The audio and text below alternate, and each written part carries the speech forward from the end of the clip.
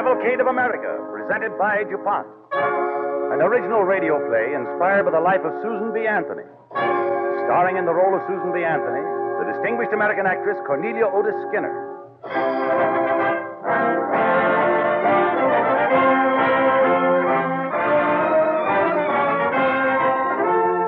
The Cavalcade of America is presented by the DuPont Company, makers of better things for better living through chemistry, and is dedicated to those men and women in every walk of life who have shaped the destiny of America in the past and to the youth of today who will shape the destiny of America in the future. The other day, a man with curiosity decided to get some real information about a feminine habit. Like most men, he'd often watched women search through their handbags on a bus or a streetcar at a ticket window. He wondered how many items were actually carried by the average woman in her handbag. And so he had a count made. The final figure showed an average of 39 items per handbag. Uh, one woman carried 106 different articles. And the variety of things found in this search ranged from the usual lipstick and powder to an extra pair of stockings and even a dog collar. So it's easy to see why women's handbags must have capacity nowadays. But the reason why they're handsome and colorful and yet so inexpensive is another story, one in which chemistry plays a part. One of the earliest developments of our modern chemical age was pyroxylin coated fabrics, which DuPont makes under the trademark Fabrikoid. About 40 years ago, Fabrikoid was used as an upholstery material for buggy seats and dashboards. Then DuPont chemists began to improve it, gave it color, various interesting textures, and even greater wearability, with the result that today coated fabrics serve hundreds of uses. One of these is in the form of tontine, the first of all washable window shades, noted for its beauty and long life. Another use important to women is handbags. It wasn't so many years ago that women had to pay at least $5 for a good looking handbag. Today, she can buy several smart handbags made of Fabrikoid for the same amount, and thus can have a different bag to match each costume. And they stay attractive because they're washable. Now, this entrance of pyroxylin coated fabric into the handbag field has had other important effects. In 15 years, the number of people employed in making handbags of coated fabrics has jumped from less than 2,000 to a total of over 10,000 people. Chemistry, too, supplies frames and fittings of DuPont plastics, rayon for linings, work for more people in plants of still other manufacturers. Another manifestation of the DuPont pledge better things for better living through chemistry.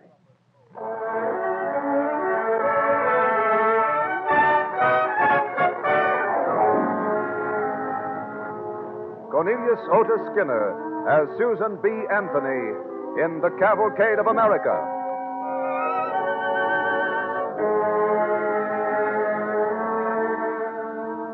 In a small town of the America of 1838, a girl just arrived home from an academy for young gentlewomen had returned to her father's household, presumably to fold her hands and wait for a husband. But that young gentlewoman was Susan B. Anthony. Susan, you've had your nose buried in that newspaper for an hour. I've been reading President Van Buren's message to Congress, Father. Didn't they teach you at that finishing school that young ladies are not supposed to stick their noses into politics? Lucretia Martin and Elizabeth Stanton do. They're fighting for women's rights. And they're perfect ladies. Women's rights? What rights? Susan, you'd better begin doing some work for your hope chest. That's my advice to you. Father, if all I'm expected to do is gather some things for a hope chest, why did I need an education? Why, why, so you'll be a credit to your husband, of course. A woman of attainments and adornment for some man's household. So that's it. I've been groomed to adorn somebody's household like like a prize mare in a stable. Susan. Oh, Father, I, I've shocked you so terribly, haven't I? I do apologize. But I feel so so useless. I was wondering, Father, couldn't I find some employment? Employment? You're a woman, Susan. Women don't work. And as long as I'm head of this family, you'll obey me. But, Father, there are women working. There are women in your factory. I saw them. You have no place in a factory. Yes, I have, Father. If other women can work, so can I. Oh, please, Father, it's worth a try. Women have rights, and they'll be recognized someday. All right. All right, go ahead. You'll soon forget these noble ideas, young lady. We'll see if you like to work after a few days at the looms. then there'll be no more talk about women's rights from you.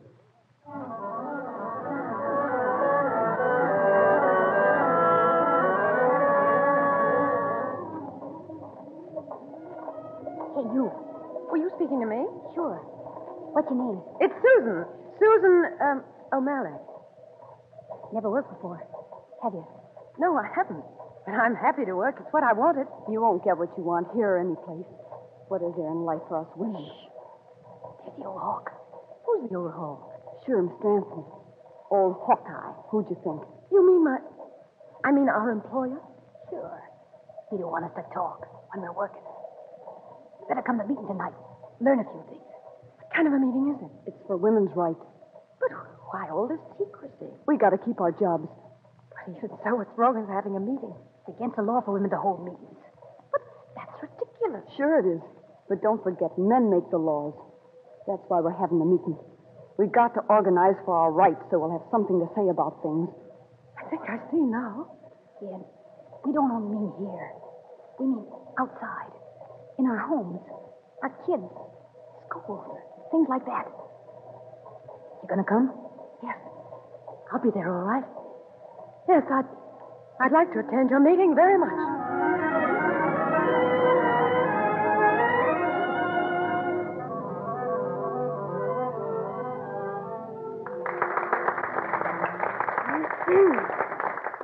Mrs. Stanton, on behalf of our Working Girls Organization for Women's Rights, I want to thank you for coming here this evening and bringing us your inspiring message. Thank you, Madam Chairman, and young women. Now, in closing, let us keep these resolutions firmly in our minds. We shall organize a movement to bring to the women of this country the full and equal rights as citizens they are now denied. Our primary step will be to secure for women the right to vote. Once this is accomplished, our nation will see the complete emancipation of women in every walk of life. Thank you, and good night. Well, girls, that's all for tonight. Meeting's adjourned.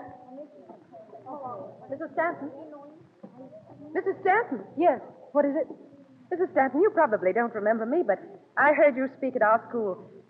My name's Susan Anthony, and I. Oh, yes. I do remember you. You were the one who asked so many questions.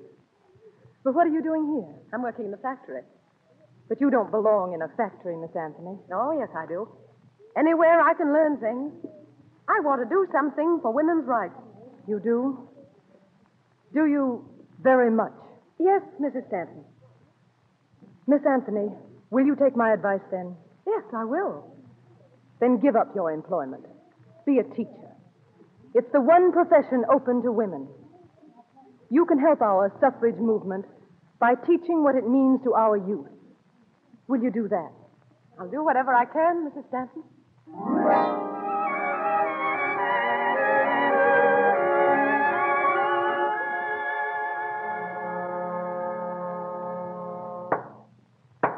The, uh, the New York State Teachers Convention is now in session.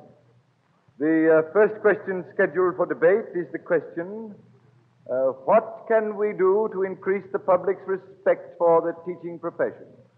The, the chair is ready to recognize delegates who wish to speak to the question. Mr. Chairman. Mr. Chairman, Uh, Miss Anthony? I wish to speak to the question. Well, uh, Miss Anthony, our time being limited and uh, recognizing a delegate not versed in parliamentary procedure, that is. uh, Mr. Chairman, I know enough about parliamentary procedure to know that you are violating every principle of it at this moment. I repeat, I wish to speak to the question. Well, uh, is there a second I second the motion. discussion? Mr. Chairman, I raise a point of order. No woman has ever entered into parliamentary discussion I hold that precedent rules Miss Anthony out of order. Is it the gentleman's contention that I am not a qualified delegate to this convention? Not a delegate qualified to enter into debate. There's nothing in the rules of this convention disqualifying any delegate from debate. Mr. Chairman, is Miss Anthony to be ruled solely by the rules of this convention and not by moral and natural laws? There's nothing in the rules specifically prohibiting murder on this floor. It might be to the gentleman's interest if there were. Uh, gentlemen, gentlemen, please. If there is no objection, the chair grants Miss Anthony the floor and limits her time for debate to one minute. Thank you, Mr. Chairman. One minute is ample for what I have to say. You ask why the teaching profession is not as highly thought of as, say, the profession of medicine or of law. I'll tell you. Women who are not considered bright enough to be doctors or lawyers are nevertheless considered bright enough to teach the nation's youth. If you want to improve your station in life, all you fine gentlemen, I suggest you join the woman suffrage movement.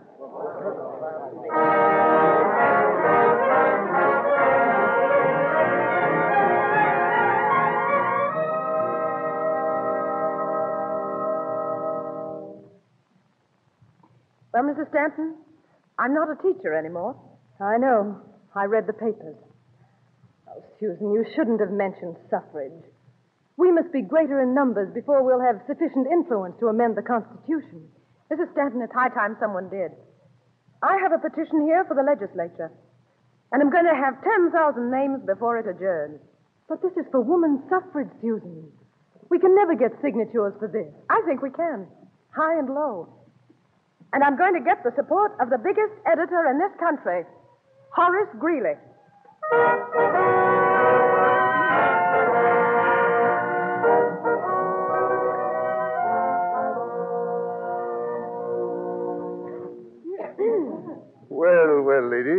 What can I do for you? Mr. Greeley, years ago you were almost alone among editors in your support of women's rights. We wish to know why you are opposed today. Miss Anthony, I have always favored women's rights. I believe that economically, financially, and in the eyes of the courts, woman should stand on an equal footing with man. But politically, no. But, Mr. Greeley, you must realize that without the ballot, woman has no power to improve her position in all the other respects. Hmm. Are you aware, Miss Anthony, that the ballot and the bullet go together? If you vote, are you also prepared to fight? Certainly, Mr. Greeley. Just as you fought in the late war, at the point of a goose quill. Miss Anthony, this is my final word. I stand on the fact that the best woman I know, my wife, does not want to vote. Uh, pardon me a moment, Mr. Greeley. Mrs. Curtis. yes, Miss Anthony. The petition, please. Mr. Greeley, I hold in my hand a petition signed by 300 women of Westchester County asking that the word male be stricken out of the Constitution. I am not interested in a list of names, Miss Anthony. Perhaps you will be, Mr. Greeley, when I tell you the first name on the list is Mrs. Horace Greeley. And I tell you there will be thousands more.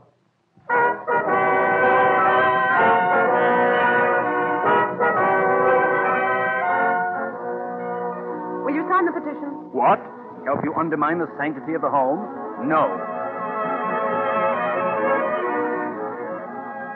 Will you sign the petition? So you're Susan Anthony. Why, I heard you were the worst ever, but you're not at all. Yes, I'll sign it gladly, Miss Anthony.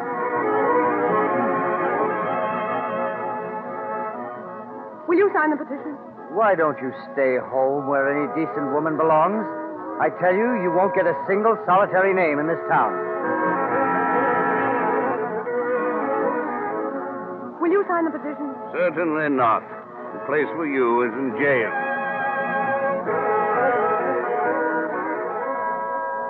Will you sign the petition? Yes, I'll sign it. Sign the petition? Get out, you brazen hussy.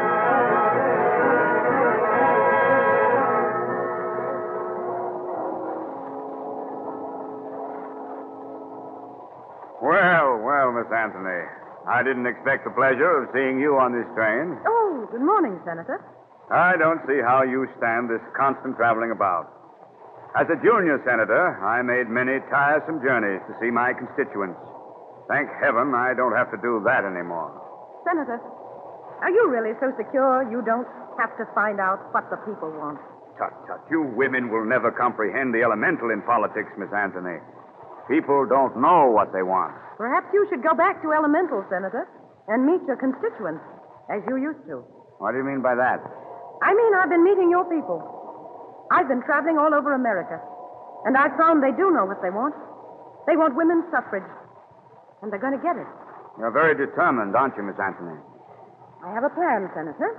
I'm going to do two things that women aren't supposed to do at all. I'm going into a barber shop. What?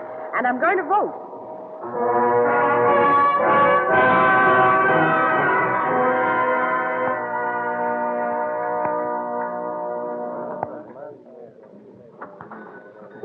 Next? Who's next? Oh, excuse me, lady. You don't want to come in here. This is a barber shop. Oh, but I do. Isn't this where you register? Well, yeah, but, well, well, right in the back room, ma'am. Thanks, sir. Think all these men lying. Pardon me, but is this where I register to vote? Boys, here's a lady who wants to vote. Hey, you're Miss Anthony, aren't you? Yes, I'm Susan Anthony. This is my voting district. I'm afraid not, ma'am. Only men can vote. Is the Constitution a joke? Well, what do you mean, joke?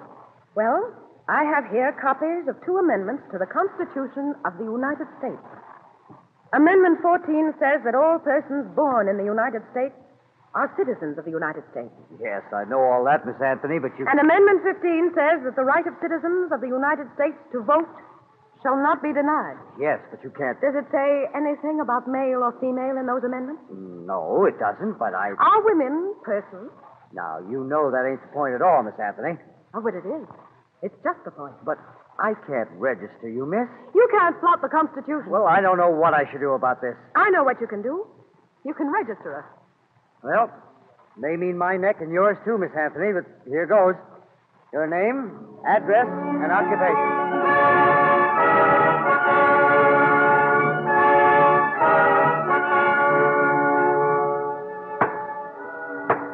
Case of the people of the United States versus Susan B. Anthony. It is charged that the defendant, on or about the 5th day of November, 1872, at the city of Rochester, New York, in an election held in the 8th Ward for a representative in the Congress of the United States, did then and there vote without having a legal right.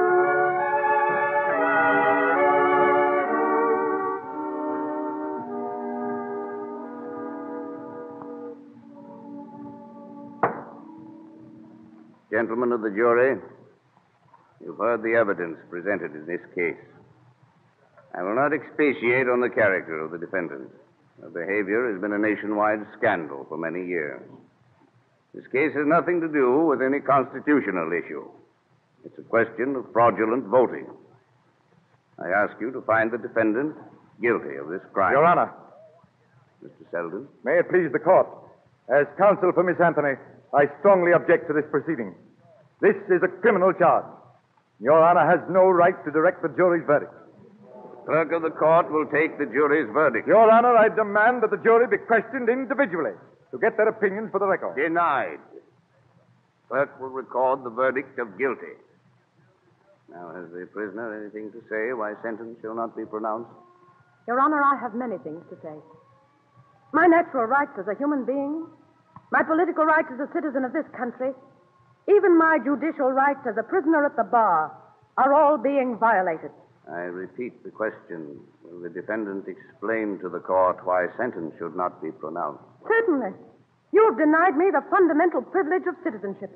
You have degraded me from the status of a citizen to that of a subject.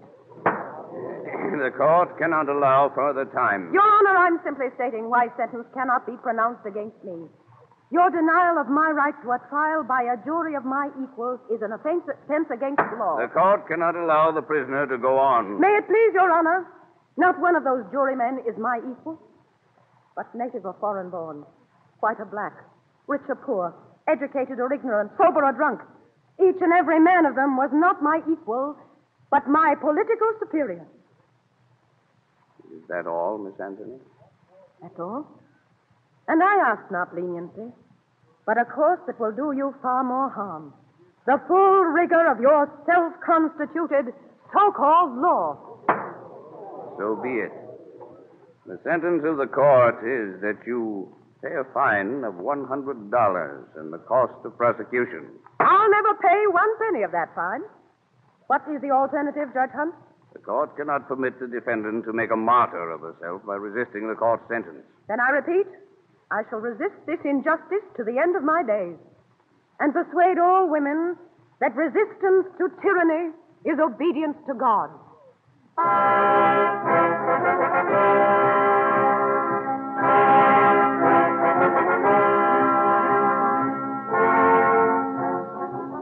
Susan B. Anthony did resist, and fortunately for her cause, her days were long. They were long enough, even for a hostile press that had once reviled her, to cry out against that same injustice. And as the long days rolled into the long years, she became, even to her enemies, a brave and heroic figure. There came a day when her secretary entered with a morning mail. Good morning, Miss Anthony. Here's your newspaper. Thank you. And listen to this. As we approach a new century, the 20th century, a valiant fighter of the old is approaching her 80th year. And the whole nation takes this occasion to honor the spirit of Susan B. Anthony. Well, Miss Anthony, that's a great change from what the papers used to say about you. Why not? They think I've failed. And at 80, they no longer fear me. Well, I'm thinking of retiring soon. That should bring even more bouquets from the press. Retiring, Miss Anthony? Yes. But before I retire, I've got one more job to do. What is that? I have a letter here from Lady Aberdeen, the leader of the women's suffrage movement in England. If I can help the suffrage movement in England, it will help us here. But you know the influence of Queen Victoria in England, and she's violently against women's suffrage. But if Queen Victoria were to receive me at Buckingham Palace. oh, Miss Anthony, you're the greatest politician of modern times. Thank you. That does me more good than a dozen flowery editorials.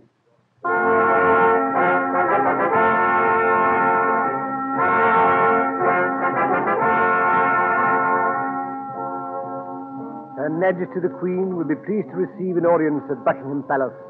Her loyal subjects, the Lady Aberdeen, and most especially desires that Lady Aberdeen's guest, Miss Susan B. Anthony, will be able to accompany her.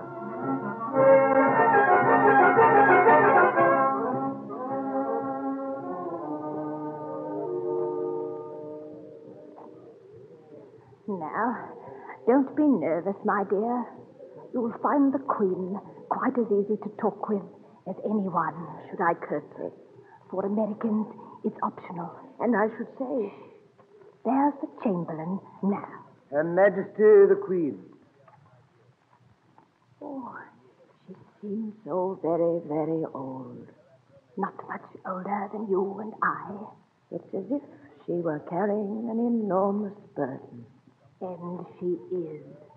She's beckoning to us now. Lady Aberdeen and Miss Anthony. Lady Aberdeen?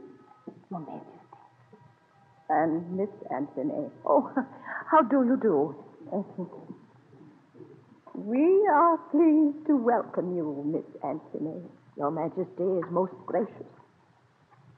We have been interested to observe your work for the political emancipation of women, Miss Anthony. It is an heroic work, but we must confess we do not in any sense embrace your view. But your Majesty rules a great empire. Out of duty, not out of choice, Miss Anthony. When the Prince Consort was alive, we acceded to his every wish. We have never had cause to regret it. All women have not been so fortunate, Your Majesty. Age has probably made us both more tolerant, Miss Anthony. Yes. But even should yours be the right view, I do not believe that in our lifetime we shall ever see the political freedom of women. And if we don't, well, Your Majesty, no one can live forever. And someone has said that a man is immortal as long as one idea lingers behind him when he's gone. And I can only hope that the idea I have fought for will be of everlasting good when I have gone.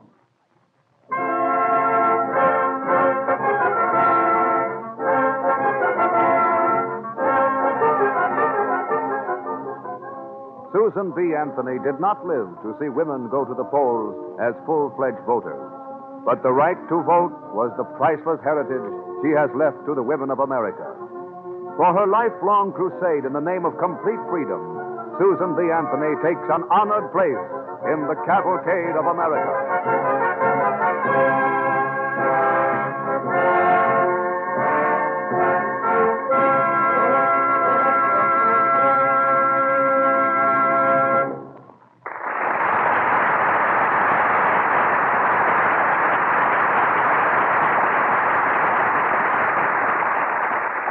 Ladies and gentlemen, the star of this week's DuPont Cavalcade, Cornelia Otis Skinner.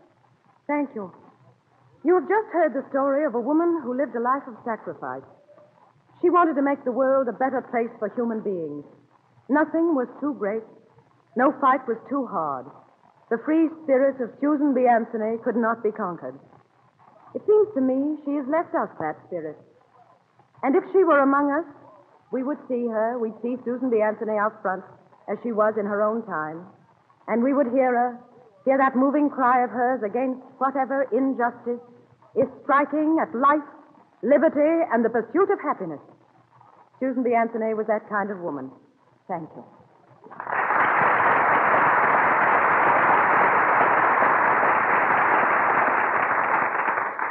Thank you, Miss Skinner. And now a word about next week's program from the DuPont Cavalcade of America's historian, Dr. Frank Monaghan of Yale University. Many years ago, the American philosopher Ralph Waldo Emerson said that when nature has work to be done, she creates the genius to do it. And so there came in time one man who devoted his life to the preservation of the human race against a deadly enemy, yellow fever. This man was Walter Reed, whose story we will bring you next week. In these times, it is well for us to recall the significance of a triumph of the human spirit and to accord that spirit our fervent tribute.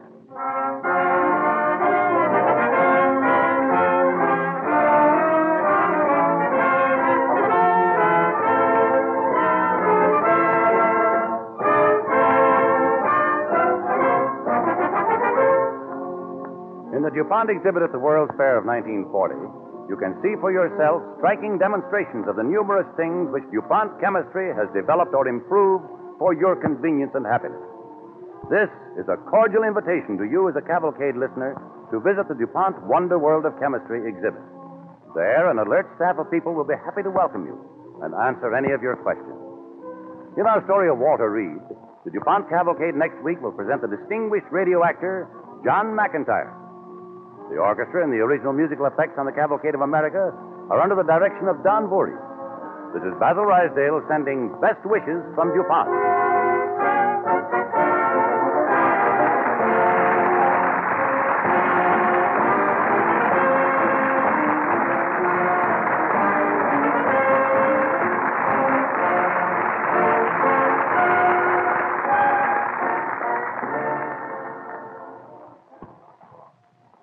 Is the National Broadcasting Company.